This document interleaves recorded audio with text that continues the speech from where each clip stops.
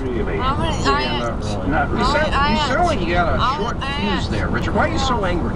Well, I'm angry because you basically uh,